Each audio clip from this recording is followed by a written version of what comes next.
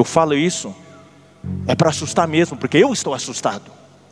Dizem que o, o 666 é, a, a, a, é um chip, coisa assim. Eu não vou dizer o que, que é, mas é alguma coisa que consegue dominar a sua mente, a sua cabeça, que afronte, quer dizer, seu pensamento. É uma coisa que controla seu pensamento. Se hoje qualquer coisinha do mundo fala, e vocês como jovens já vão, amém, amém, se conformam. O celular é muito bom, o mundo virtual é bom, mas cuidado, porque o domínio da mente das pessoas vai estar através desse, desse realidade virtual. Cuidado. Cada vez mais isso vai estar dominante. Você já não. Primeira, como os irmãos perguntaram, primeira coisa que eu levanto é o seu celular, não é a Bíblia. Você tem mil e um minutos para acessar seu WhatsApp, seu Facebook, mas você não tem nenhum minuto para ler a Bíblia. Este século já afastou muitos de vocês da Bíblia. Já conseguiu o objetivo. O presente século quer afastar você da Bíblia e do Deus da Bíblia. A Bíblia é a nossa única referência. E Satanás quer tirar essa referência de, de nós. Satanás quer tirar sua referência da Bíblia. Daí, ah, eu cometi fornicação. Você se arrependeu? Eu, eu acho que sim, não sei. Quer dizer, ou voltamos ao Deus da Bíblia, ou pereceremos no abismo da iniquidade. É isso que esse presente século quer fazer: tirar qualquer vínculo nosso com a autoridade de Deus ou a crença em Deus.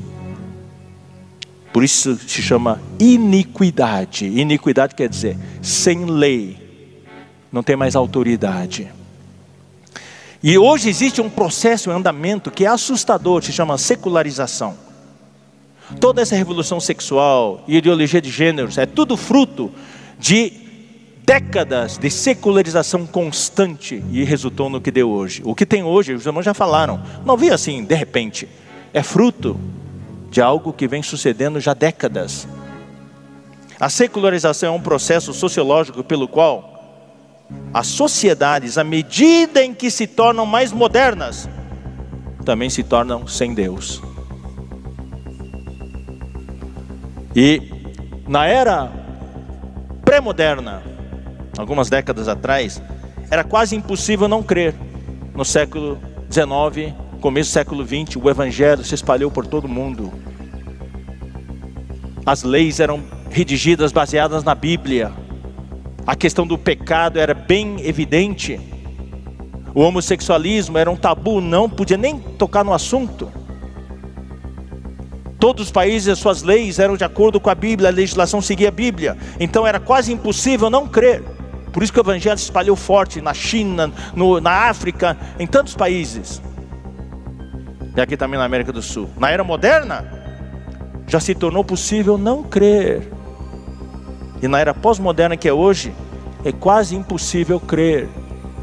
Quase ninguém mais crê. Você sabia que na Europa, especialmente nos países do primeiríssimo mundo, que são os países escandinavos, uma geração inteira está alheia ao Evangelho. Eles nem sabem quem é Jesus Cristo. Não tem mais igreja nesses países. É totalmente secularizado. Esse é o processo que está acontecendo. E vai acontecer em muitos países. E a secularização não trata de rejeitar a religião. Eles não são contra a religião. Eles querem uma, várias religiões, todos no mesmo nível, para substituir o Deus da Bíblia.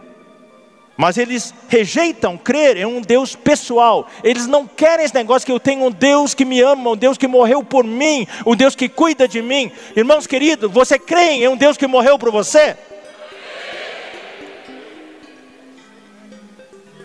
A Bíblia fala em Atos 20 que Deus nos comprou com seu próprio sangue. Ele enviou o seu filho para morrer no meu lugar. Eu quero ter um relacionamento pessoal com Deus. Eu não estou nem aí para essas filosofias. O meu Deus é pessoal, Ele é meu Deus. Ele é o teu Deus também? Então eles rejeitam qualquer Deus pessoal e rejeitam um Deus que tem autoridade e exerce autoridade. Eles não querem nada de autoridade. Então hoje, o mundo de hoje é um mundo sem autoridade. É isso aí que está acontecendo. Vai acontecer mais e mais, em escala mundial. As, as re, re, rebeliões no mundo, os tumultos, as manifestações na rua, vai ser cada vez pior. E a secularização é a porta para a multiplicação da iniquidade. E a secularização substitui o que é divino, substitui o Deus vivo da revelação divina pelas leis, olha, olha só, irmãos, pelas leis humanas, leis boas, humanas, pelos direitos humanos, que é o que está mais em voga hoje, só se fala hoje dos direitos humanos, direitos humanos dos homossexuais, direitos humanos desse, daquele, das minorias e assim por diante. Pela ciência, pela tecnologia, pelo conhecimento, etc, etc. Essa é a influência. Hoje o que está acontecendo é uma revolução de ideias, uma revolução moral. Irmãos, isso aqui é que nem um furacão. Não é mais um ventinho que derruba uma árvore. É um furacão que depois que passa, um navio inteiro que estava no porto, agora está no meio de um quarteirão. São tsunamis. A sociedade inteira, irmãos, está em um caos. E é por isso, queridos irmãos, olhem só os frutos, os resultados desse tipo de revolução. Se fosse uma revolução boa, o mundo estaria bem melhor hoje. Não é verdade? Mas olha o resultado dessa revolução: o mundo está cada vez pior. Isso aqui está entrando forte, irmãos. Nós precisamos levantar uma parede na igreja, um muro de proteção. É uma revolução que transforma toda a estrutura moral dos valores da vida. Está havendo uma redefinição de, dos conceitos de relacionamentos, de vida, do amor, da liberdade, do que é o certo e errado. Não tem mais nenhum certo e errado. Irmãos, no jardim do Éden tem a árvore da vida e a árvore do conhecimento do bem e do mal. Então os homens o que, que faziam? Eles rejeitavam a árvore da vida e comiam da árvore do conhecimento do bem e do mal. Hoje, sabe o que está acontecendo? Estão rejeitando também a árvore do conhecimento do bem e do mal. Não querem mais nenhuma árvore. Não tem mais o bem o mal, o certo e errado. O mundo está numa situação realmente terrível. O que está vendo hoje? Na última linha fala, é a Torre de Babel do século 21. Não é mais uma Torre de Babel física, é a Torre de Babel que está dentro da cabeça das pessoas. Uma confusão. Uma confusão.